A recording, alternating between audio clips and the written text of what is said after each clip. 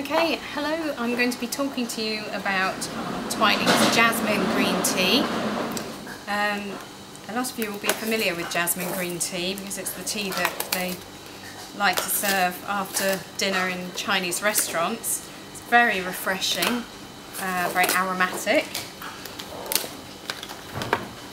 It originated in China um, and has quite an interesting uh, method of production.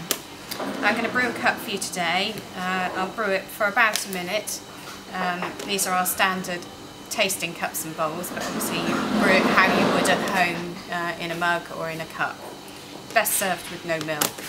I'll just go and get the kettle. Okay, so here's a kettle that I boiled earlier. Um, best to have water just off the boil, so uh, allow it to cool for a minute or two before adding it. Uh, green tea tastes a lot less bitter if you allow the water to cool slightly before brewing. We'll just leave that now to brew for a minute. Right, so that's brewed for a minute. Tip the tea out into the bowl.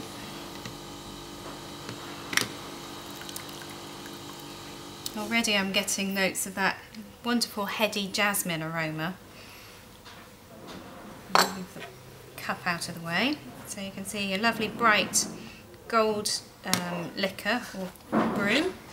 It's very clear,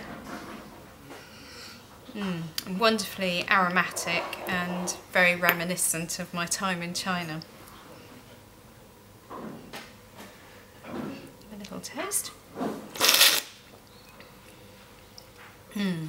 Oh, that's delicious. It's really got um, a delightfully delicate jasmine character which really complements the green tea well.